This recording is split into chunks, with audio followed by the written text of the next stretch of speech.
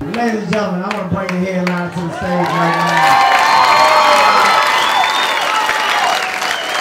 I wanted to bring this man up, man. Listen, he's a good friend of mine, one of the funniest guys I know. It's an honor for me to bring him on stage tonight. Make some noise for very funny Mr. David Arnold. Oh,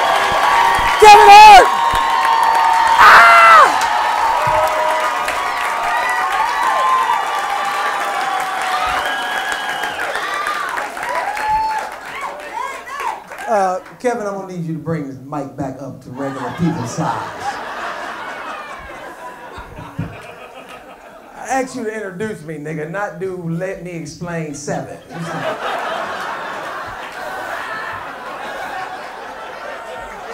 I mean, how much more does this nigga need? I mean, right?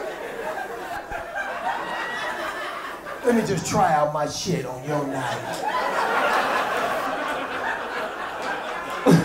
So is it fucked up? Then, you know, I just go back to my crib.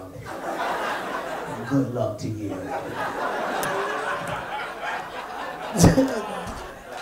Hollywood ass niggas. Give it up one more time for Kevin Hart, all the people y'all sing.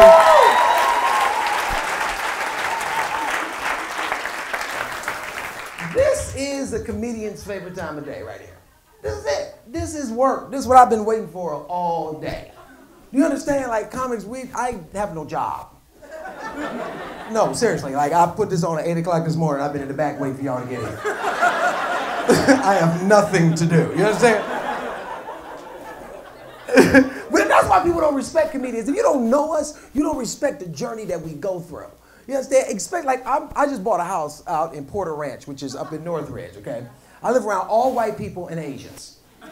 All right, and this is the thing about living around white people. White people want to know who their neighbors are. You know what I'm saying? They want to know you. They want to know what you're doing there. Black people, we not like that. Black people, we see each other. We like, yeah, I see you over there. You keep your ass over there. I'll stay over here. If some shit happens, we'll come to the middle of the street and talk about it. You know what I'm saying? Other than that, you keep it fucking moving. You hear me? Now, white, white people want to know why you're there. They want to they want to know what you do for a living that you can afford to live where I live. So when I first moved to town, right, when I first moved to the neighborhood, you know, I got no job. So I'm outside on the porch every morning seeing everybody off to work. I'm just standing there. All right now, take care. Have a nice day. they come back eight hours later. I'm still standing there. Welcome back. How was your day? And you can see it killing him. Like, what the fuck is he doing over there? Nothing. I remember the little, little white lady across the street came over and talked to me. One and only time. She came over and talked to me, and they always want to lead up to the what do you do for a living question. Right? And you know, I'm a comedian. Nothing gives me more pleasure than making you uncomfortable. You understand? so she comes, she comes over, she's like, so welcome neighborhood. I'm like, oh, thanks, white lady.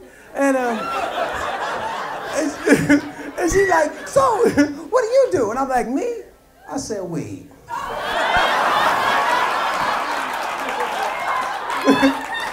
now my wife, who is the most conservative woman ever, right? My wife is so ah ah ah ah. That's my wife. I don't suck dick. Ah, that's my wife, right? Not since college. Oh my God. Okay, that's my wife. My wife immediately tries to clean up my shenanigans, right? She's like, no, he doesn't. He is not selling weed. He is a comedian. Now, every time my wife tells somebody I'm a comedian, nobody ever thinks she means I'm literally a comedian. So inevitably, every woman will always say, oh, my husband's funny too, right? and I'm looking at her like, no, bitch, I'm really funny, okay? It's a whole different kind of funny than what you doing, you know what I'm saying? We get into it, me and my wife, this is the thing, me and my wife, we get into it constantly about what I do. Because I don't have no traditional nine to five. You know, like if you ain't at the job upset and miserable, then you must not have no real job. You know what I'm saying? My wife, oh, she quick to go, everything's not a joke, David. Right? And I'm like, uh, all this shit in the house says it is.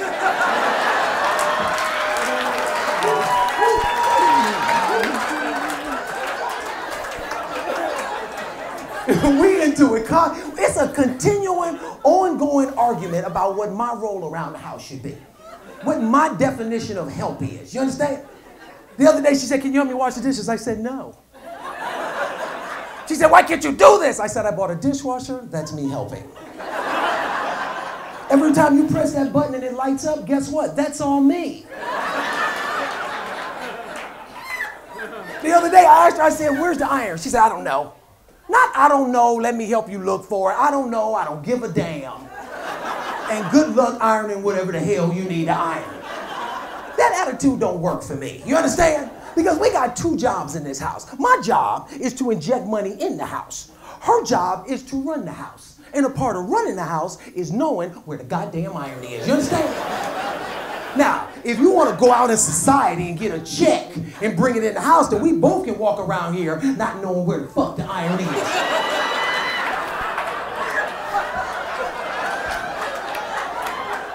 but as long as I'm making all the money, I need you to know where the goddamn iron is.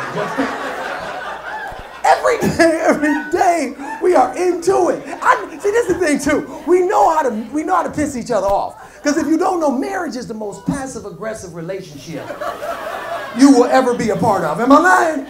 It is because when you're married, you got to find a way to say fuck you without saying fuck you. Right? You have to. Like, let me tell you how my wife does to me. She'll go out and buy all my favorite breakfast cereals, but won't buy no milk. Nothing says fuck you like a dry ass bone of Lucky Charms. I'm eating them like they're sunflowers. Ain't no milk in the house. She messing with me. But I know how to get, let me tell you something. I know how to get her back. Guys, you want to piss your woman off? Let her see you rested. Am I lying? Nothing. Nothing pisses a woman off like a man at rest. You understand me? I don't give a damn what you did all day. You could have built an ark. You could have put out a forest fire. When she walk in the house, your ass better be in motion. You understand? That's why when I'm at home, I keep a tool belt strapped on me at all times. As soon as she walk in, I jump up and measure anything. I'm like,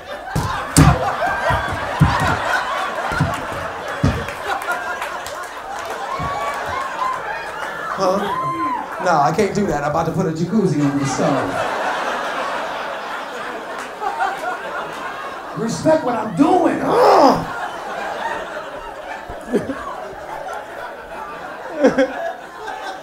they don't respect nothing you're doing. And it's amazing because nobody puts together a to-do list like women. Nobody. Y'all are the ones who created the list. The first list ever came from Eve to Adam. Do you know this? She put all shit, name, name the animals, bring us something to eat, all kind of shit on his list. He put one thing on her list, don't fuck with that tree. The bitch couldn't do it.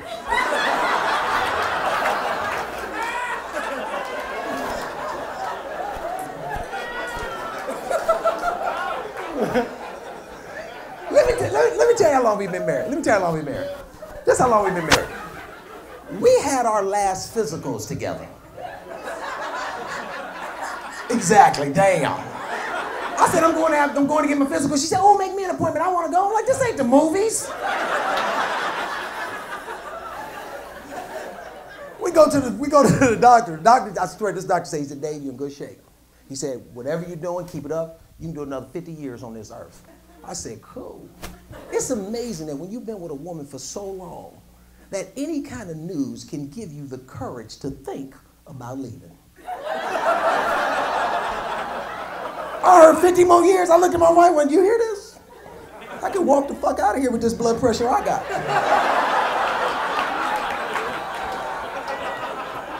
I'm in shape enough to start over. You understand? Let's see, look, some of y'all look at me like, Dave, I want to leave too. But you can't because your triglycerides ain't in order. You see what I'm saying? You gonna walk out on somebody you borderline diabetic, huh? you a Snickers away from losing a foot. Talk about I'm leaving. Look at the club, I'm back.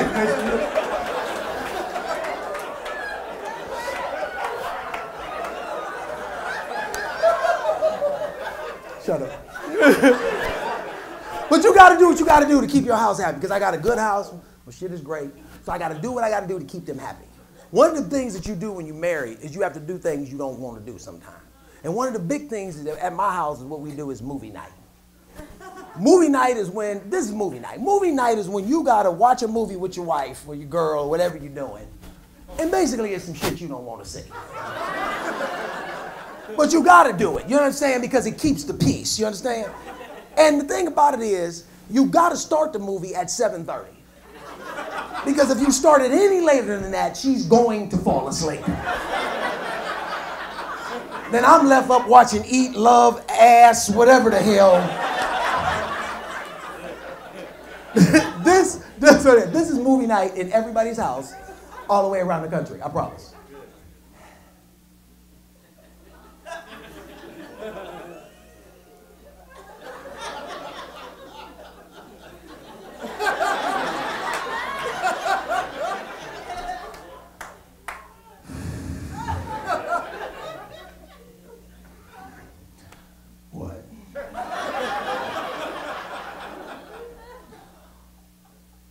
thirsty.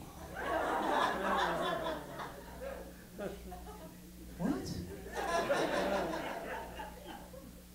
I'm just saying, if you was going downstairs,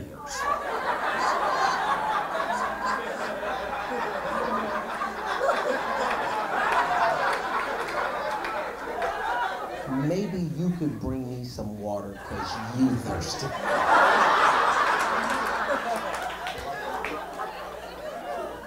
I'm not I'm not thirsty. want me to go downstairs? Do you want me to go downstairs, say, David, go downstairs. And we got to do this back and forth. Why, why, why you got to talk to me like this? Why you got to breathe? Why you got to breathe? You know what, David? Never mind. Just forget it. Just watch a movie. I don't want to see this movie. Fine. You know what? I'll just be parched. Never mind.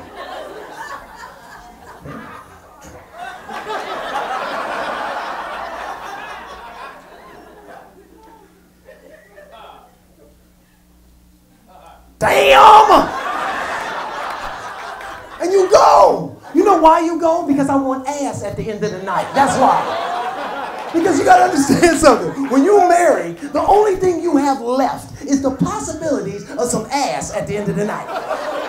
But in order to qualify for the ass, you gotta be good all day to walk in the room with a 50 50 shot. You understand?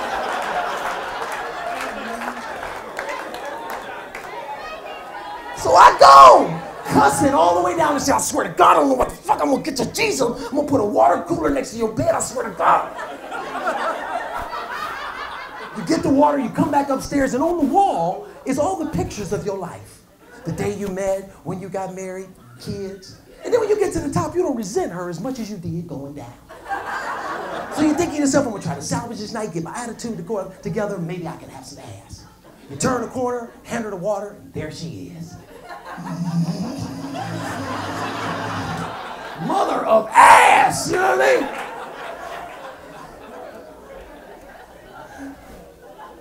Let me tell you, let me tell you the hardest part about being married for me. This is the hardest part.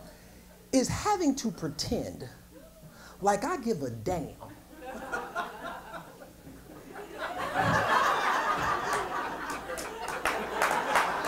I feel you, sir about half the shit she talking about. you don't, oh, it's unfair to us for you to drag us into these conversations that you know we don't care about. I'm downstairs, my wife David, I got something I want to ask you. Come up here. I'm like, all right, ah. Come in. Get upstairs. She's like, I'm having lunch with Shannon.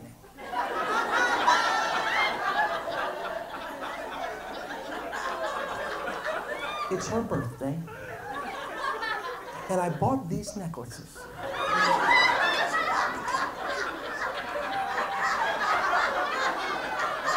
and I'm wondering, which one do you think she'll like?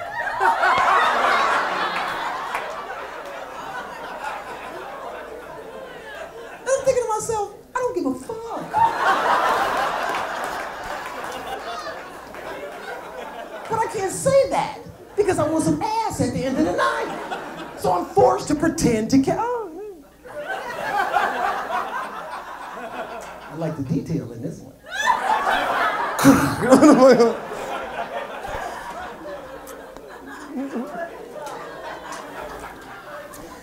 Everybody, everybody always says this too. Everybody goes, oh, you know, it's gonna get better. Marriage gets better with time. I don't know. I don't know if it gets better or if it just gets different. Let me tell you what I mean. My parents been married 37 years. You understand? Both of them retired now. My mother watches crime TV all day. Forensic files, snap, another, all, all the time. She got conspiracy theory mind now. You saying? Like if she go outside and smell something, she's like, ooh, you smell that? I wonder if Miss Jones got bodies next door. Stop watching these shows. My father, who is a retired mechanical engineer, bought, let's just say it's a Jiffy Lube, just so you know what I'm talking about. It's, it's, a, it's an auto shop, a Jiffy Lube, like three miles from the house. He bought this just so he'll have some place to go. so he don't have to be at home with her. You understand? $250,000 he spent to have a place to go. and they're not working in this garage. They're not doing anything. They're sitting around in, in a circle smoking weed, trying to figure out where it all went wrong. That's what they do. I've seen people pull up to my father's business and go, We want to get oil change. He's like, We're not here for that. Get your ass on. Let's go. Keep it moving.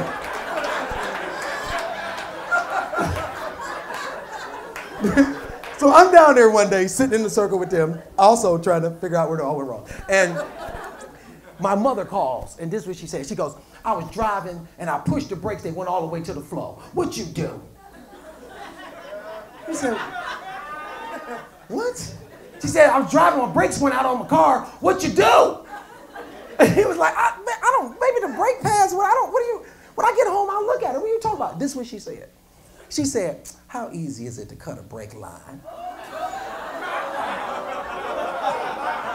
Let me tell you something. Me and my wife, when we argue, we argue about who ate the last of the cheesecake. who deleted whose program off the DVR. This woman is accusing this man of attempted murder.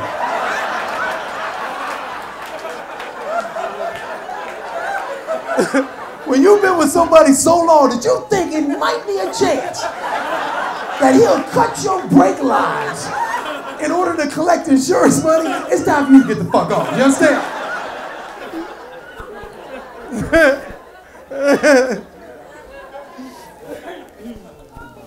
How many parents in the house? Let me hear the parents.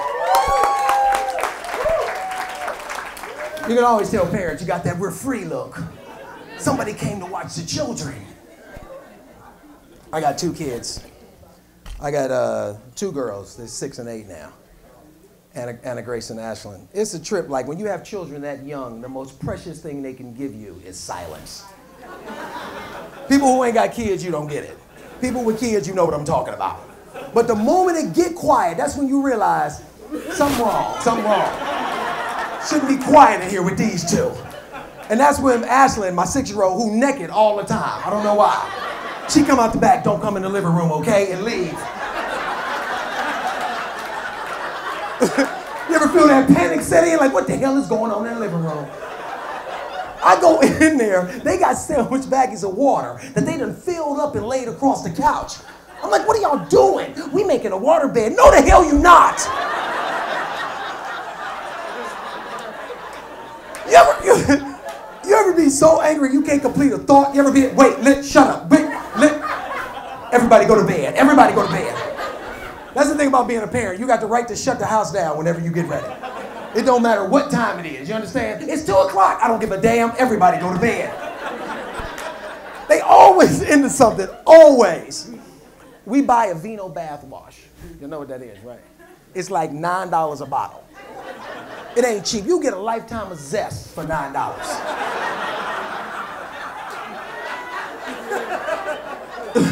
it's quiet. I know it's a problem. So I go upstairs. Both of them then took out a brand new bottle, squeezed it all over the floor. Both of them up there naked, skating. Both of them just.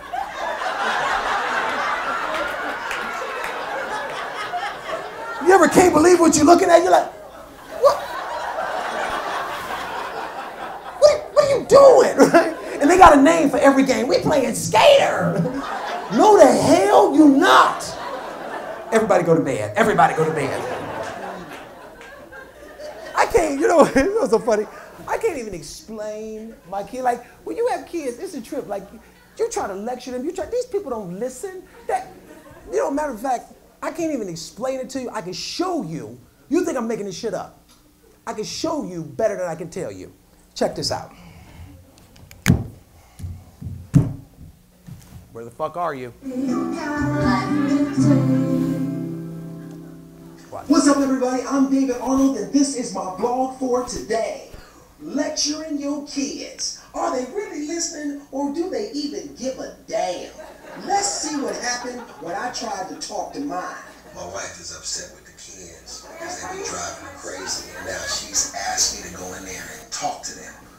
So I'm about to go in here and do a daddy speech. See how much they respect me. This is ridiculous. David, why, why is mommy upset with you? I am playing around I'm jumping around. You're jumping around and playing around where? In tumbling class. How many times did the teacher have to tell you to be still? Ten! Why is she answering this like this is a game show and she about to win a prize? Ten! Tell me what's going on. Then the phrase that you've used on your parents for so many years finally comes back to haunt you. I don't know. I don't know. I don't know. If you can't listen when your mother takes you out, then you're not gonna Sit go. up. Do you understand, Anna Grace? You're the oldest. What do you say? Don't say yes like that. Yes, Daddy. You Do you hear sarcasm in her voice? I do. Is she just gonna be booty? We've told you over and over again, you never mention that word. This is private. What word? Then your daughter says the word that you've been dreading to hear.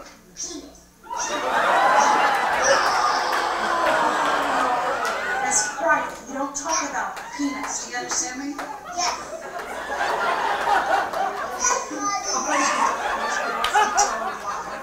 It's private.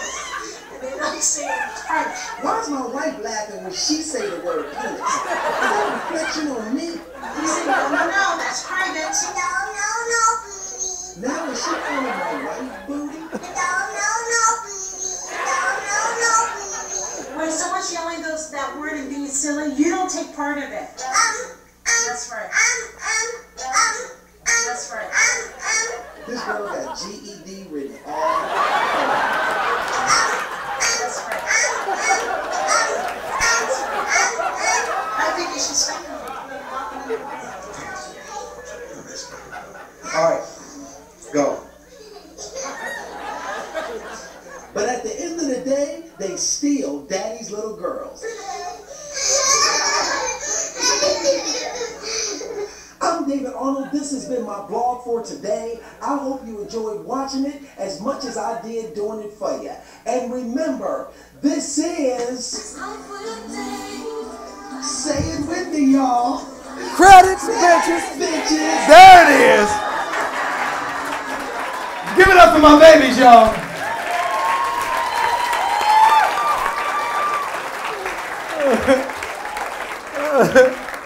that little one, um, um, um, um, that little one, Ashley, let me tell you something. This one is emotionally out of control now. And I didn't know that until the fish died.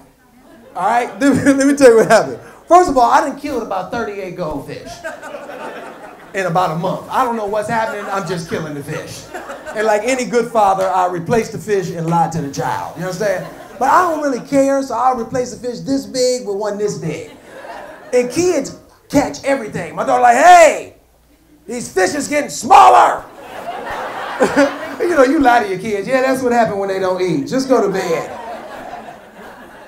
Finally, she brought home a gray and white goldfish that she got at the carnival. Called him Pinky Pandy.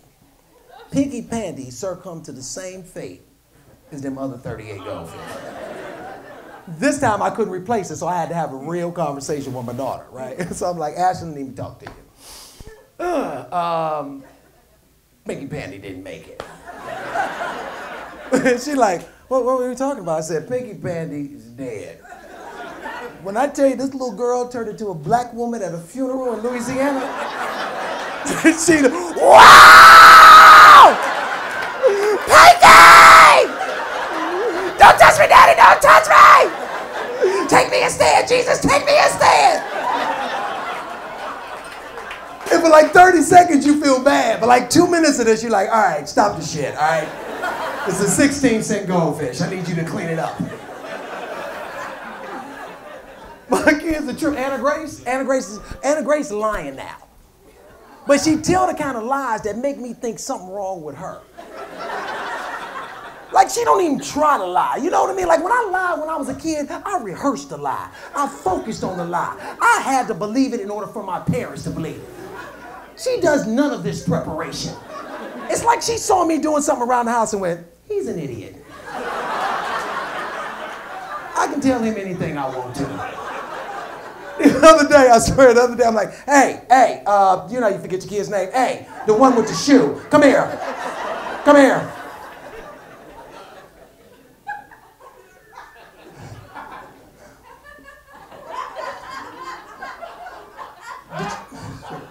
Did you eat that donut? No. It's all over your face.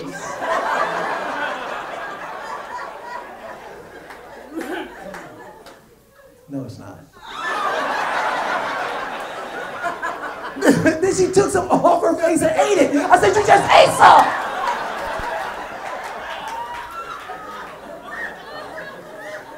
No, I didn't. I said, This girl is good. This is the same child that brings home little arts and crafts. You know, and let's be, all you, when your kids bring home something, let's just be honest, some of it is terrible. All right, but they be proud, like, oh, look, daddy. I'm like, oh, hey. What's this? That's an elephant. And you're thinking, no, the hell it's not. And if this school I'm paying thousands to send you to got you thinking this is an elephant, I need my money back. You understand? But you gotta put it on the wall, something about their self-esteem, I don't know, whatever. Then the question becomes, how long am I obligated to keep this on the wall? Because when I look at it now, it's messing with my self-esteem. You understand? Finally, I couldn't take it no more. So I took it down and threw it away, and she caught me. I, have you ever been caught throwing your children's creation away? It's the most uncomfortable. Because at that moment, you become the child and they are the parent. I turned around, Anna Grace was standing there. I went, oh, hey, hey.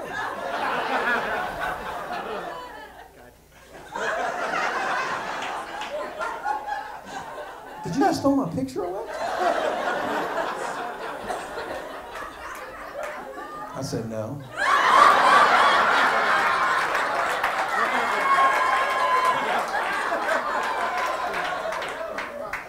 She said, I just saw you.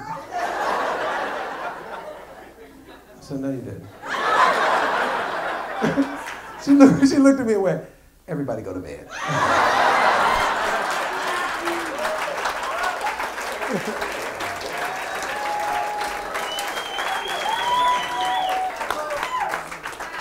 my wife don't think I discipline my kids the way she think I should. And you gotta understand, like me, Kevin, Chris, Boris, all of us had kids at the same time. They had boys and girls, I had all girls. They love talking trash to me about the fact that I got girls. But this is what you need to understand. My biggest fear is being sent to the nursing home.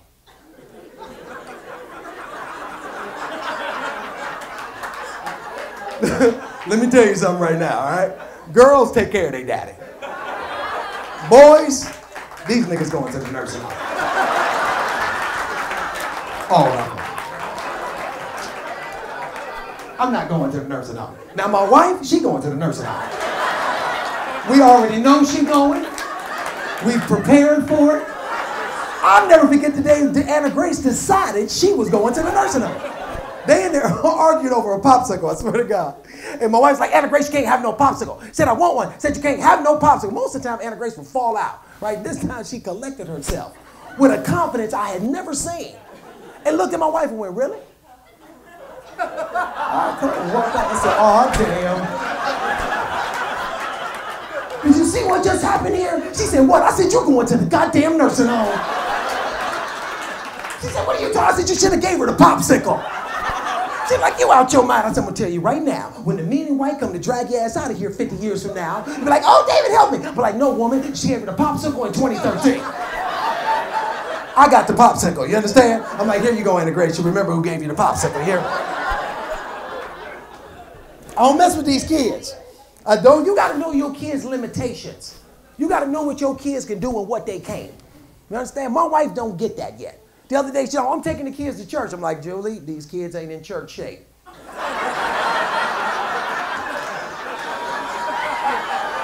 don't be trying to take these kids out in public at the church.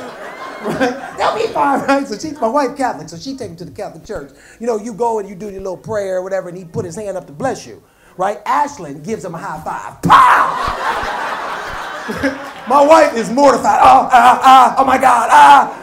She's dragging both of them out. Anna Grace screaming, I want to give him a high five too! she come back mortified. I'm like, I told you, keep your ass these, kids in the house. We go through it about everything. Anna Grace is second grade. And we doing homework now. And, I, I'm gonna be honest with you, me and my wife, we ain't good at the homework. We just ain't got no patience to see nobody through one sitting of homework. Because at any moment, one of us is gonna snap, and the other one got to come in there and relieve them like a tag team wrestling team before we kill this child. You understand? Because I'll be in my office working, I just hear my wife lose it. Anna Grace, you need to focus. That's when I walk in immediately, like, all right, let's go. Tap out, tap out. Come on, tap out. You're scaring the baby. Tap out. Then I take over like, like I'm gonna be any better, right? I'm like, Anna Grace, listen. What's two plus three? She say five. I said, very good. Now what's three plus two? She say, I don't know.